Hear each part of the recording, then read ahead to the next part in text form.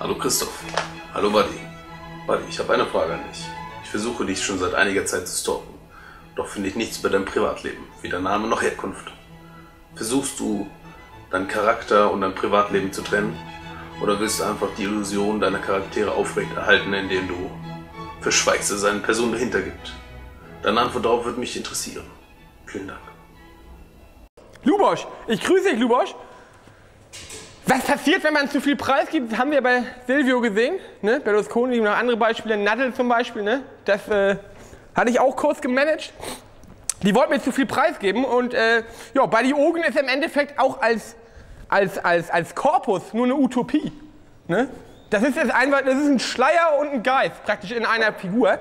Und äh, das hängt damit zusammen, dass wir den schützen. Das machen wir ganz bewusst, dass er eben nicht irgendwelche Leute äh, nach dem Büro drinnen kommen und hier uns irgendwie zu bombardieren mit Fragen. Das ist alles Schöne, das ist, das ist Medien-Surrounding.